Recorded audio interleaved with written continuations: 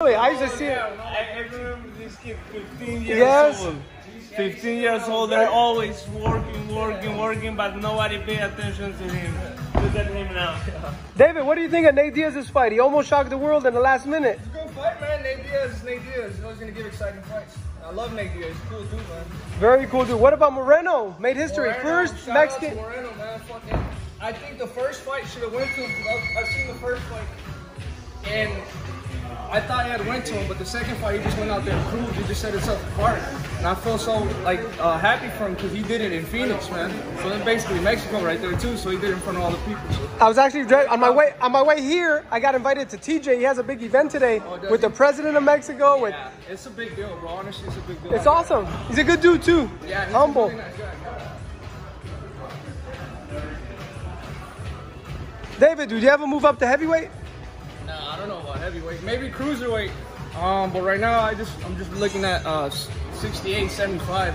Maybe when I'm like 30, I'll go up to cruiserweight or something. But You and Charlo, big fight. Jermall. hopefully, you know, I've been talking to you about it. That's the fight I want. You know Sampson and him have a good relationship. Do they? Do you see the press conference? Because he's fighting. Um, Montiel, yeah, he's fought a lot of his fighters already. So because Sampson said Montiel's gonna knock you out, and he goes, Sampson, you're crazy. yeah, but hopefully we get that fight, man.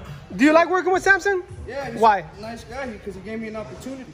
At the time, not too much people were giving me opportunities, and all I needed was an opportunity to show the world who I was, and he's the one who gave me the opportunity. So I mean, I'll always be grateful for Sampson. He has an eye for talent. He discovered Manny Pacquiao. Yeah, he's a nice guy. He's helped me out a lot, man. If it wasn't for him, I wouldn't be where I'm at. Sampson Lewkowicz. You know he lived in my country for a little bit. Did he? Yeah. The guys lived everywhere, man. he speaks my language.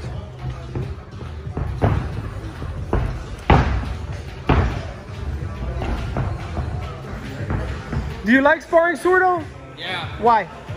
because he's a he's a he's a ex world champion, man. Or he's a world champion. He's a high 41 and oh. 0. when you get these type of fighters, you have to think, and it pushes you to another level, mentally and physically. You just have to think. Think he's not a regular fighter. Very talented. He's a southpaw. Yeah, he's really good. Man. He has a lot of power too. I know you were supposed to spar Nate Diaz. You remember? Yeah, but It didn't work out. staying in Big Bear. You know, some you know. Is- Okay, how about this? Nate Diaz and Nick Diaz against Jake Paul and Logan Paul in one card. Uh, it'd be a great fight. It would both be great fights. I mean, I think that would be a great card to make happen. They can make happen. Crazy money. They should do it. I mean, I still can't believe Logan Paul made twenty million dollars. Were you impressed by his performance? Yeah, I was. Why? What did he do to impress you? His He composure? get His, knocked out. Just so he, by not getting knocked out, it's a win. I mean, if you go up against the greatest fighter in history, you don't get knocked out for eight rounds, you know what I mean? Would you ever want to fight Logan? I'll fight him. It's twenty million dollars, shit. What would happen in that fight?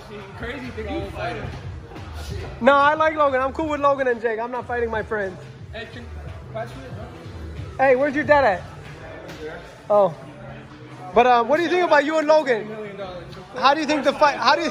How will the fight unfold? You and Logan? Come on, you tell me. You tell me. Ryo, him and Logan. What would happen? What? like Logan Paul. I like Jake Paul. Too. No, the genius is what they do. They're really cool too. But I've been doing this for, I've been boxing for 20 years. There's a big David difference. knocking the fuck out. Come on, man. Seriously. He's not gonna say it. you already know. I don't know. You can never predict a knockout. Right, David? You can never predict a knockout. Maybe he has a, he has a great chin.